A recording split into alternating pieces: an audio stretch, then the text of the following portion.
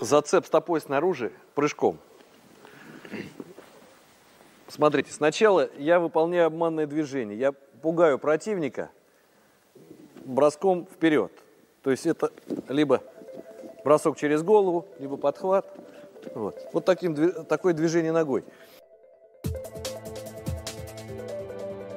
И за счет этого маха я подпрыгиваю на опорной ноге и занимаю положение, удобное для броска зацепом.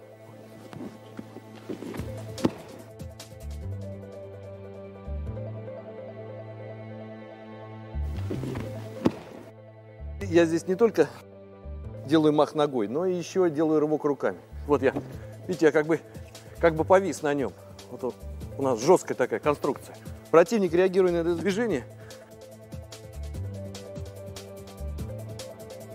становится на пятки и тянет назад. А я в это время, разворачиваясь и подпрыгивая на опорной ноге, занимаю удобное положение для броска.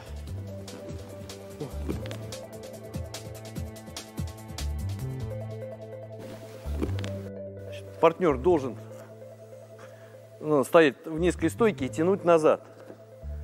И реагировать на мое движение. Вот, когда я делаю обманное движение, он еще сильнее тянет назад. Смотрите. Какие ошибки бывают при выполнении этого приема? После того, как делают зацеп, начинают разворачиваться в ту сторону и пытаться руками действовать в направлении броска. В этом случае противник разгружается и перешагивает.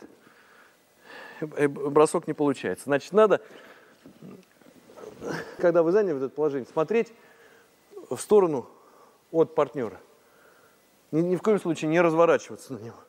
Вот, и продолжать тянуть вперед. Потому что до тех пор, пока вы тянете вперед, он тянет назад.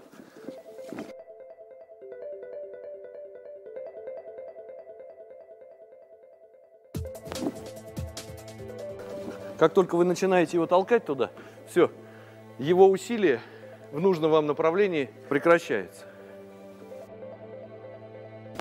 Вот пока вы тянете вперед, он тянет назад.